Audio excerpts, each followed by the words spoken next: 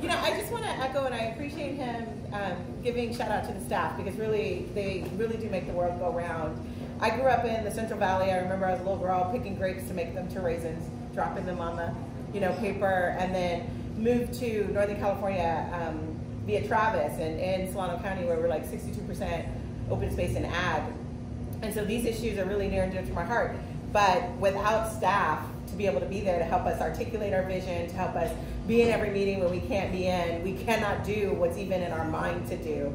And um, I was just fortunate enough to get Mark Ross as my ledge director, who is an amazing advocate in this space already, just in his own passion. Um, so it really does help me be a champion. I would not be a champion had um, Mark not been a part of my team. So if we can, give another round of applause.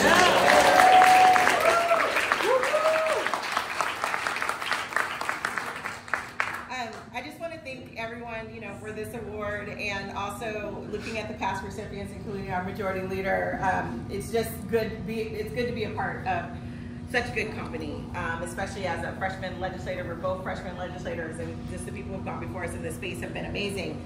Um, I want to take the time, though, to recognize the work of both our community farmers and our advocates. So give yourselves a round of applause in that space.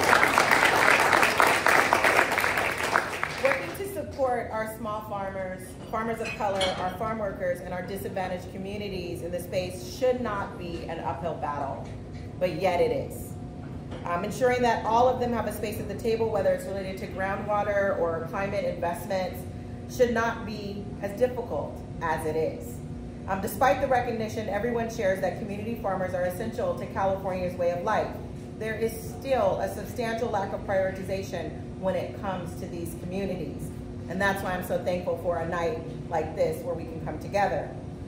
Um, I would also like to take the time to not only thank the hard work that they all put in every day, that you all put in every day, but also to recognize the hard work that every single advocate in our space um, puts in to ensure these communities have a seat at the table.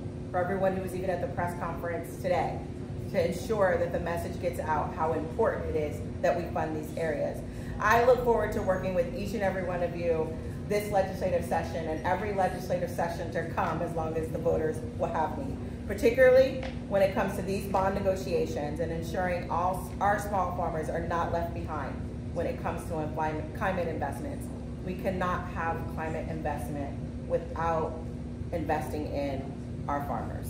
Simple as that. Thank you so much.